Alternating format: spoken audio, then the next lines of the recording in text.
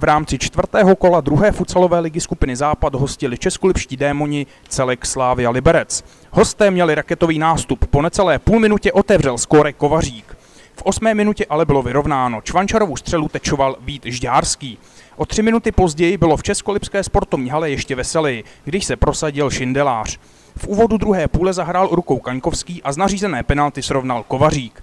V zápětí převrhl misky vach na stranu Liberce Prášil. Domácí se ovšem z této studené sprchy nepoložili a Milan Soukup střelou do šibenice znovu srovnal. Ve 28. minutě přihrál Šindelář před prázdnou bránu Soukupovi a hostitelé měli rázem znovu navrh. Ovšem jen do 30. minuty, kdy se trefil Žoček.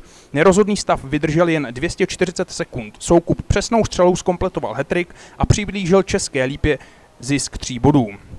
Body se ale nakonec přece jen dělili. Liberec v posledních vteřinách zápasu vyslal do pole náhradního brankáře Makovyho, který srovnal na konečných 5-5. U mikrofonu celého sportu je autor hetriku Milan Soukup. Milané remizovali jste 5-5, třetí remiza v této sezóně. Jak by zhodnotil tento duel? Tak já myslím, že asi remíza dnešní zápas asi zasloužená. V tom, jakým jsme hráli dneska složení, že vlastně nebyli čtyři lidi z té základní sestavy.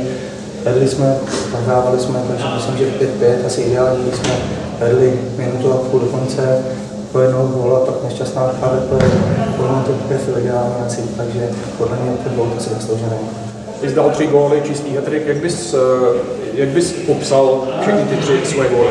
Tak já myslím, že jakoby jsou to góly jiný, prostě spadl mi tam, tak po nevím se tím, že spojí a si tam nějak občas spadne, spadl to tam, jsem rád, že se nezvíte Když už to nakousl, pro dnešní zápas to musel povolat eh, kluky z B týmu, z dorostu. Jak moc tohle mohlo ovlivnit vaši psychiku před zápasem? Tak nevím, my jsme šli s tím, že vždycky jdeme naplno do toho, ale když jsme hráli složení, jak jsme tak zkoušíme vždycky odezvít naplno, co si poučejí z nováčky, je to z Bčka, z 18, takže my se spíš snažíme pozbudit a dodat nějaký sebevědomí a snad jim ten bod aspoň na hráli.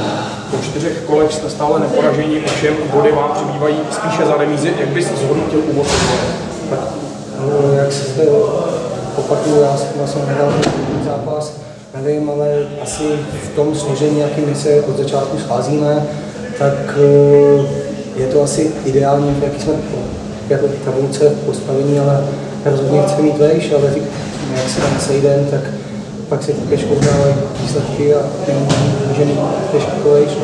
Poslední otázka, v příštím kolu vás čeká Benešov. Co očekáváš od tohoto soupeře? Tak nevím, jak to neznáme, ale já vždycky do každého zápasu zvítezit, takže my si jedeme pro všechny pro Benešova a snad to.